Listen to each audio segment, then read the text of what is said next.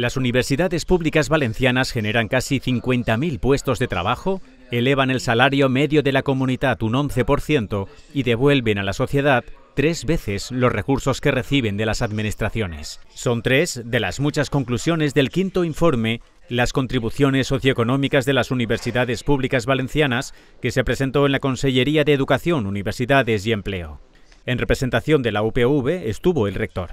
Es un ejercicio de responsabilidad y también de rendición de cuentas. Y de ver que además cada euro que se invierte, porque yo creo que la palabra no es gasto, es inversión, se invierte en el sistema universitario público, tiene una enorme rentabilidad para la sociedad valenciana. Otro de los datos llamativos es que el sistema público valenciano asume casi el 96% de la capacidad investigadora global.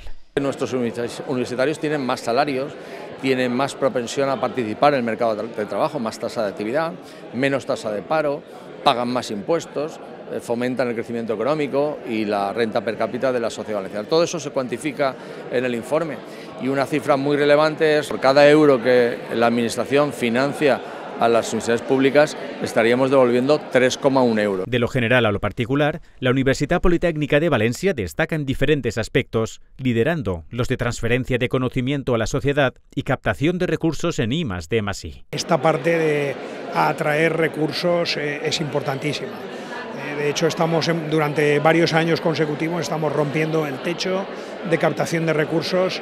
En este último año pasado, que estamos cerrando ahora mismo, estamos hablando ya de una cifra que supera los 115 millones. Las universidades públicas valencianas forman a 7 de cada 10 estudiantes universitarios. El informe apuntala a una idea. Los recursos destinados al sistema público universitario no suponen un gasto, sino una inversión con retorno en el presente y en el futuro.